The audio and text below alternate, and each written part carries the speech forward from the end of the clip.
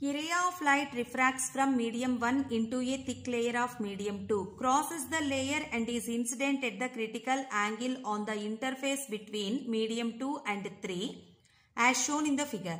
If the angle of incidence of ray is theta, the value of theta is. Once observe the given diagram. Here three different media of refractive indices 1.6, 1.8 and 1.3. First medium behaves like rarer medium and second medium behaves like denser medium.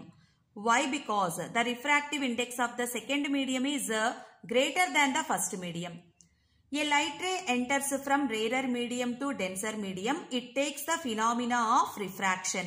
Here angle of incidence is theta. We don't know the angle of refraction. Let it be R. At this interface, apply the Snell's law. Sine of angle of incidence to the sine of angle of refraction is equals to refractive index of the second medium to the refractive index of the first medium. From this, mu 1 sin i is equals to mu 2 sin r. Here refractive index of the first medium is 1.6, second medium is 1.8 and angle of incidence is theta, angle of refraction is r. In place of mu 1, 1.6 sin theta is equals to 1.8 sin r. Let it be equation 1. And now this light ray enters from second medium to the third medium. Refractive index of the second medium is greater than the refractive index of the third medium. So this medium behaves like denser medium and this is rarer medium.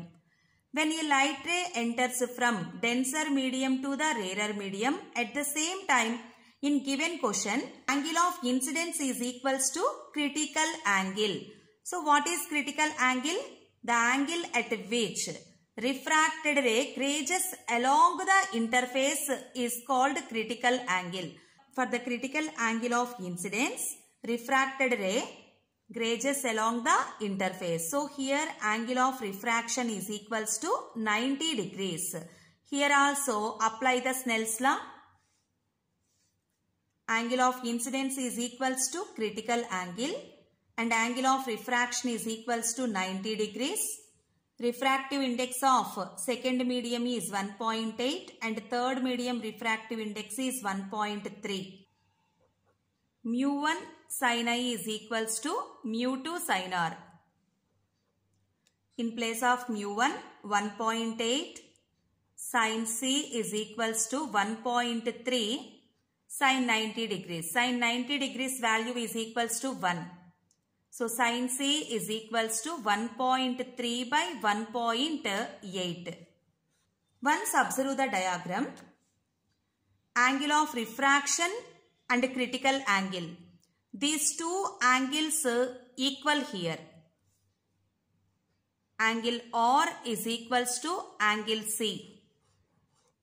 Substitute sin C in equation 1.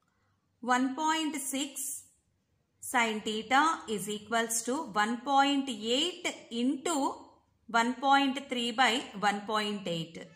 Here 1.8 get cancelled. From this sin theta is equals to 1.3 by 1.6. So theta is equals to sin inverse 13 by 16. Angle of incidence is equals to sin inverse 13 by 16. Third option is correct.